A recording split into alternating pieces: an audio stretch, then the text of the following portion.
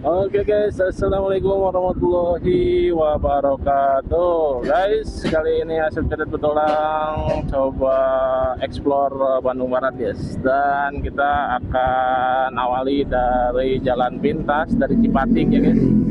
Ke Cipatik ke kiri ke Cililin. Apabila terjadi kepadatan di Ciamplas, di BBS, kita bisa alternatif ke kiri guys. Nah, ke sebelah kiri ini. Waduh. Nah, di sini ada persimpangan, kita ambil ke kiri ya guys ya. Ke kiri, ini ke Situangi bisa ya guys, ke Gantole, ke Walahir. Bisa. Kok nama ini jalur alternatif. Kalau teman-teman memang eh, terjebak macet panjang. Biasanya di antara BBS kalau sekarang mungkin BBS aman lah.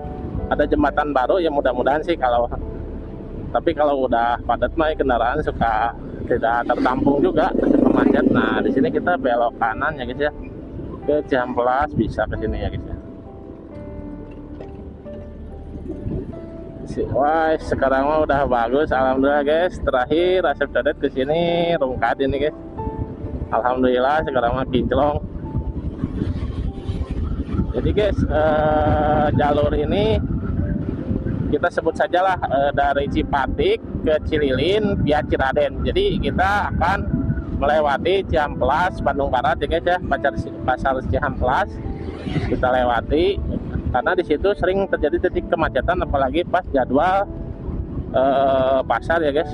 Kalau pasar Ciamplas itu yang wajib dihindari oleh teman-teman kalau misalkan eh, lewat ke Siamplas itu hari Senin, Rabu atau Sabtu. Tapi konon katanya sih sekarang nggak terlalu padat juga. Kalau dulu sangat padat. Tapi misalkan ini mah misalkan terjadi kepadatan di jalur itu, teman-teman bisa pakai jalur ini ya guys ya. Nah sekarang udah bagus. Kalau dulu masih rungkat, nggak rekomendasi sih dulu mah. Sekarang mah udah bagus jalannya. Udah dicor guys. Tuh, full, full coran sekarang mah, ya, alhamdulillah. Dulu di sini, waduh, kubangan semua nih, guys. Nggak hujan, hujan nggak hujan, ada kubangan di sini, guys. Oke, guys, nanti kita lanjut. Oke, guys, di sini ada ah, pokoknya mah ikuti jalur utama aja ya, guys ya. Jalur yang luas.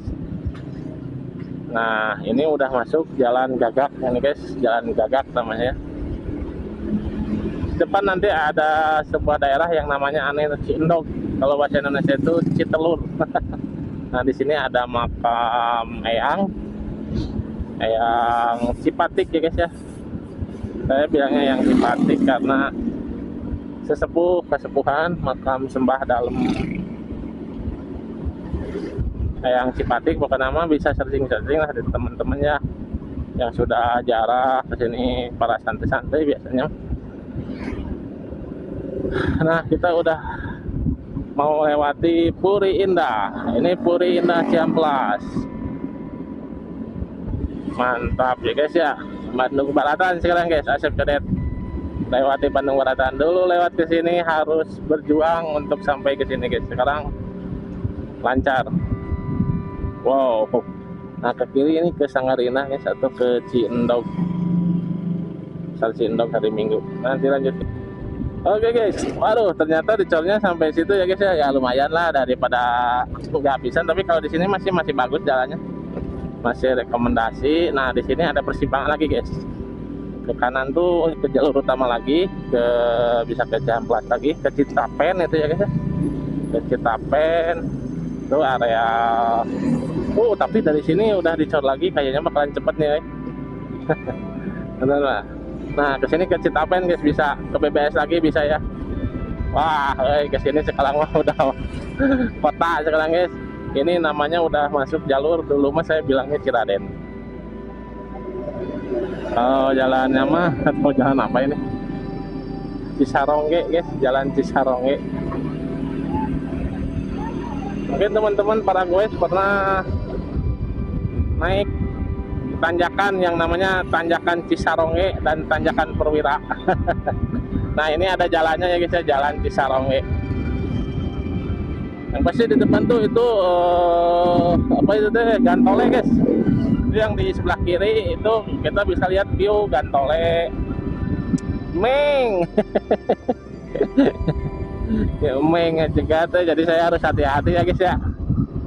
Saya harus hati-hati karena kalau meng itu nanda, nandainya kucing tuh nandain di jalan kalau nyebrang dia dia mengisyaratkan kita harus hati-hati di jalan guys. Seperti itu. Wah ternyata sekarang jalan Cisaronge udah bagus banget guys. Kalau saya nanti ditulis di thumbnailnya antara Cisaronge dan Ciraden disatuin. Jadi Ciraden Cisaronge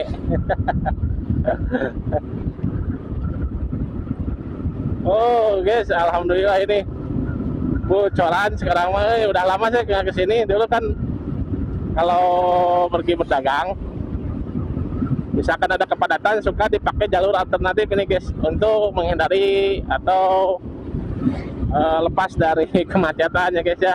Di antara Ciamplas biasanya mah itu suka macet sampai BBS dan BBS sekarang kanan katanya jembatannya udah diganti dan kita lihat lah nanti coba explore kalau misalkan tanjakannya sudah bagus eh jembatannya bagus kita explore nanti ya guys ya. Aduh ya Allah batuk. Wah guys. Bocoran eh.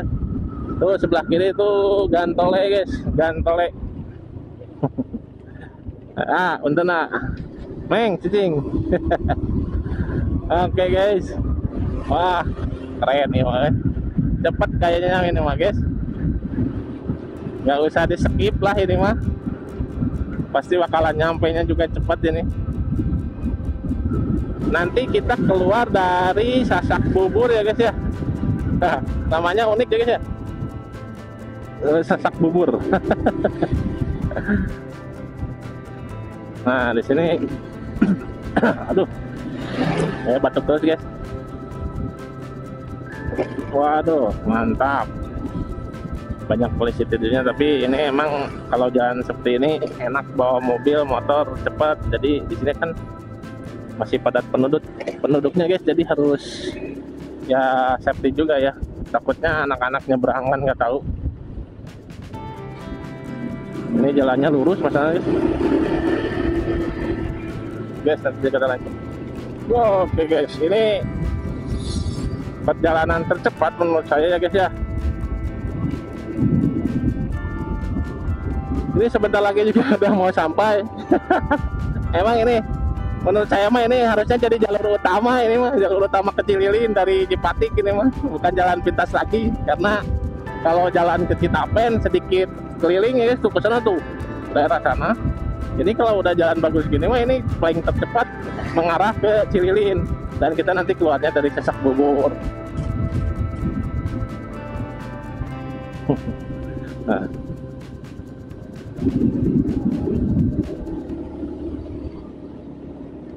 Oke guys, kita udah keluar lagi nih jalur utama.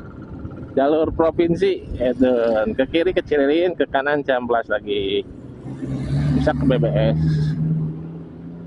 Nah, kiri kita ya guys ya. Kita akan ke Cililin dan kita keluar dari Sasak Bubur unik yang ngarana guys Wah, saat eh. Wow.